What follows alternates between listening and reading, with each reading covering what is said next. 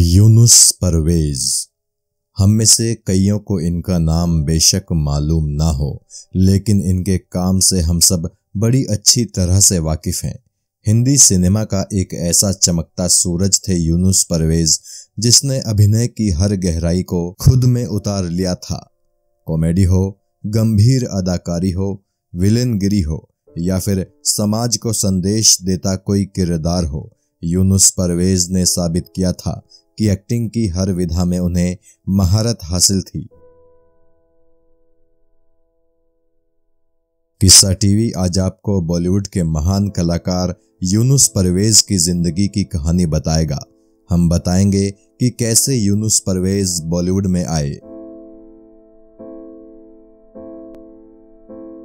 यूनुस परवेज का जन्म हुआ था 10 अगस्त 1936 को उत्तर प्रदेश के मिर्जापुर शहर में। इनका परिवार मूल रूप से गाजीपुर का रहने वाला था। लेकिन इनके पिता यूपी पुलिस में नौकरी करते थे। लिहाजा इनकी पढ़ाई और इनका शुरुआती जीवन उत्तर प्रदेश के अलग अलग शहरों में बीता था। स्कूली पढ़ाई पूरी होने के बाद यूनुस परवेज पहुँचे इलाहाबाद यूनिवर्सिटी में। ये इलाहाबाद यूनिवर्सिटी ही थी, जहाँ रंगमंच की दुनिया से इनका जुड़ाव होना शुरू हुआ था। डॉक्टर हरिवंश राय बच्चन डॉक्टर राही मासूम रजा और फिराक गोरखपुरी जैसे महान शिक्षाविदों से इन्हें शिक्षा प्राप्त करने का गौरव इलाहाबाद यूनिवर्सिटी में ही हासिल हुआ था। इंटरसिटी यूथ फेस्टिवल में यूनुस परवेज ने इलाहाबाद यूनिवर्सिटी का प्रतिनिधित्व किया था। इन्हें तीन बार बेस्ट एक्टर का अवार्ड मिल चुका था।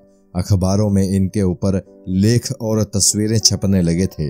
रंगमंच की दुनिया में इनका नाम इलाहाबाद यूनिवर्सिटी के दिनों में ही होने लगा था। इलाहाबाद यूनिवर्सिटी से एमए करने के बाद यूनुस परवेज पीएचडी की तैयारी कर रहे थे। इसी दौरान इनके एक दोस्त ने इन्हें दिल्ली बुलाया और इन्हें उस दौर के महान लेखक दीवान वीरेंद्र नाथ से मिलवाया। दीवान वीरेंद्र नाथ अभिनेता कबीर बेदी के चाचा थे। दीवान वीरेंद्र नाथ ही एक दफ़ा यूनुस परवेज को अपने साथ दिल्ली स्थित रूसी दूतावास ले गए थे। उस दिन रूसी दूतावास में एक पार्टी थी, जिसमें भारतीय रंगमंच पर चर्चा भी चल रही थी। उसी पार्टी में इनकी मुलाकात बेगम कुदसिया जैदी और हबीब तनवीर से हुई, जो कि उस दौर के दिग्गज रंगकर्मी माने जाते थे। इसी पार्टी में ये माइम आर्टिस्ट इरशाद पंजतन से और लेखक और कवि नियाज हैदर से भी मिले।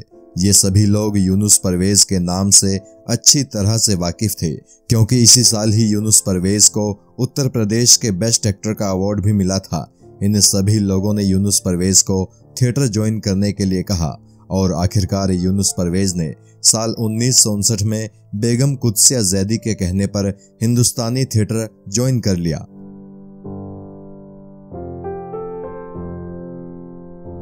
हिंदुस्तानी थिएटर की बुनियाद देश के पहले प्रधानमंत्री पंडित जवाहरलाल नेहरू की प्रेरणा से रखी गई थी।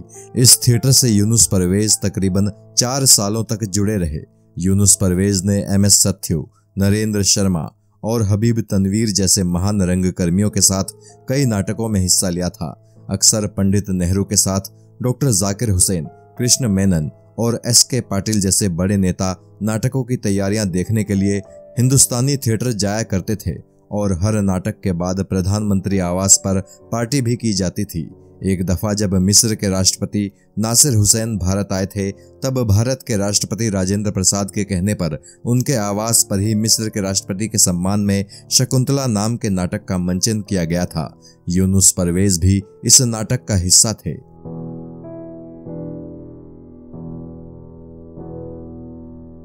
साल उन्नीस सौ बासठ में जब चीन ने भारत पर आक्रमण किया, तब हिंदुस्तानी थिएटर बिखरना शुरू हो गया था। और इसी दौरान जब 44 साल की उम्र में बेगम कुदसिया जैदी का हार्ट अटैक से अचानक निधन हुआ, तब हिंदुस्तानी थिएटर पूरी तरह से बंद हो गया। बेहतर भविष्य की उम्मीद में यूनुस परवेज अपने कई दूसरे साथियों के साथ मुंबई आ गए और यहाँ आकर इन्होंने इप्टा ज्वाइन कर लिया।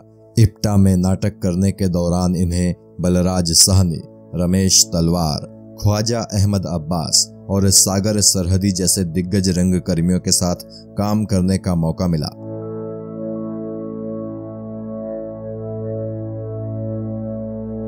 यूनुस परवेज जब मुंबई में रंगमंच की दुनिया में मशहूर होने लगे तो फिल्मी दुनिया वालों की नज़र इन पर पड़ी।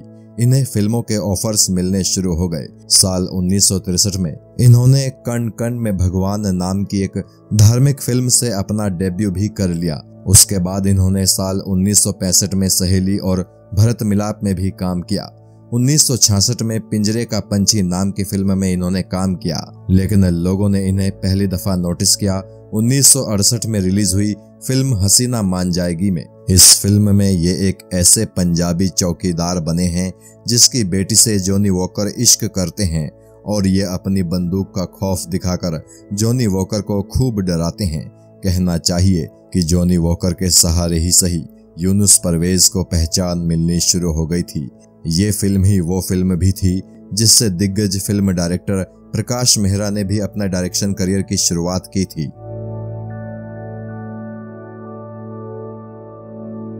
हसीना मान जाएगी के बाद यूनुस परवेज ने कुछ और फ़िल्मों में काम किया, लेकिन इनका काम फिर से सराहा गया।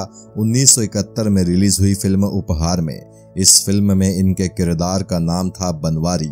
इस फ़िल्म का एक गीत काफ़ी मशहूर हुआ था, जिसके बोल थे, मांझी ढूंढे नैया किनारा।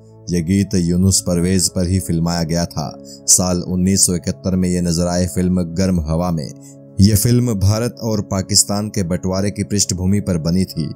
इस फ़िल्म में यूनुस परवेज एक अवसरवादी नेता के किरदार में नज़र आए थे।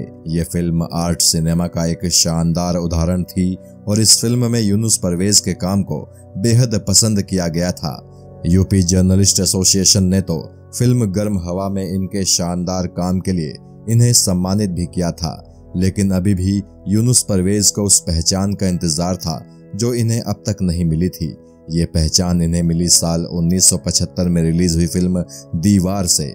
अमिताभ बच्चन की इस सुपरहिट फ़िल्म में यूनुस परवेज रहीम चाचा के किरदार में नज़र आए। आम दर्शकों को ये किरदार बेहद पसंद आया। इस फ़िल्म के बाद तो मानो यूनुस परवेज की ज़िंदगी ही बदल गई। अब हर कोई इन्हें अपनी फ़िल्म में लेना चाहता था और ये लगातार फ़िल्मों में बिज़ी होते चले गए। यूनुस परवेज के करियर का गोल्डन पीरियड पूरे 20 साल यानी 1975 से लेकर उन्नीस सौ पंचानबे तक चला। इस दौरान इन्होंने सैकड़ों फ़िल्मों में काम किया और कई तरह के रोल निभाए। अमिताभ बच्चन की लगभग हर दूसरी फ़िल्म में यूनुस परवेज नज़र आ जाते थे। इसके अलावा निकाह, तेरे मेरे सपने, द बर्निंग ट्रेन, जाल, इंसाफ का तराजू, त्रिदेव, अवाम, लैला, दहलीज, बाज़ार, मांग भरो सजना, जख्मी गोलमाल, उमराव जान, अवतार, लावारिस, राजा बाबू, कालिया, मिस्टर इंडिया, शहनशाह, कयामत से कयामत तक, फरिश्ते और अजूबा सहित साढ़े तीन सौ से भी ज़्यादा फ़िल्मों में इन्होंने काम किया था। आखिरी बार ये नज़र आए थे साल 2005 में रिलीज़ हुई बंटी और बबली में। इसके अलावा साल 2007 में ये बांके बिहारी एमएलए नाम की एक भोजपुरी फ़िल्म में भी नज़र आए, लेकिन फिर कभी इन्हें किसी और फ़िल्म में नहीं देखा गया। यूनुस परवेज को राजनीति में भी काफ़ी दिलचस्पी थी। इलाहाबाद यूनिवर्सिटी में अपने छात्र जीवन के दौरान भी ये कॉलेज राजनीति में सक्रिय थे साल उन्नीस सौ चौरासी में जब सुनील दत्त ने कांग्रेस के टिकट पर चुनाव लड़ा तो उन्होंने यूनुस परवेज को भी कांग्रेस की सदस्यता दिला दी। यूनुस परवेज ने सुनील दत्त के लिए चुनाव प्रचार भी किया, लेकिन बाद में इन्होंने किन्हीं कारणों से कांग्रेस पार्टी छोड़ दी और फिर ये समाजवादी पार्टी का हिस्सा बने। साल उन्नीस में ये समाजवादी पार्टी के टिकट पर दिल्ली की एक लोकसभा सीट से चुनाव भी लड़े, हालाँकि ये हार गए। उसके बाद ये फिर से लौटकर कांग्रेस में आ गए। यूनुस परवेज की निजी ज़िंदगी के बारे में बात करें तो इनकी पत्नी से इन्हें छह बच्चे हुए थे, दो बेटे और चार बेटियाँ। इनके बड़े बेटे सलीम परवेज ने भी थिएटर में अभिनय किया, हालाँकि फ़िल्मों में अभिनय करने का उन्हें कोई मौका नहीं मिल पाया। सलीम परवेज ने दिनेश हिंगू और असरानी जैसे बड़े कलाकारों के साथ मिलकर एक गुजराती प्रोडक्शन कंपनी शुरू की थी। हालाँकि अपने शुरुआती सालों में अच्छा काम करने के बाद ये कंपनी आखिरकार बंद हो गई। इनके दूसरे बेटे अरशद खान ने डायरेक्शन में हाथ आजमाया था, लेकिन उन्हें भी कोई खास कामयाबी नहीं मिल पाई और उन्नीस सौ तिरानवे में आई फ़िल्म आदमी के बाद उन्होंने दोबारा किसी और फ़िल्म का डायरेक्शन नहीं किया। यूनुस परवेज के बारे में एक दफ़ा अफवाह उड़ी थी कि इन्होंने गुजरे जमाने की मशहूर अभिनेत्री नाजिमा से शादी की है। हालाँकि ये अफवाह बाद में झूठ साबित हो ही गई। बढ़ती उम्र के साथ यूनुस परवेज को कई बीमारियों ने घेर लिया था।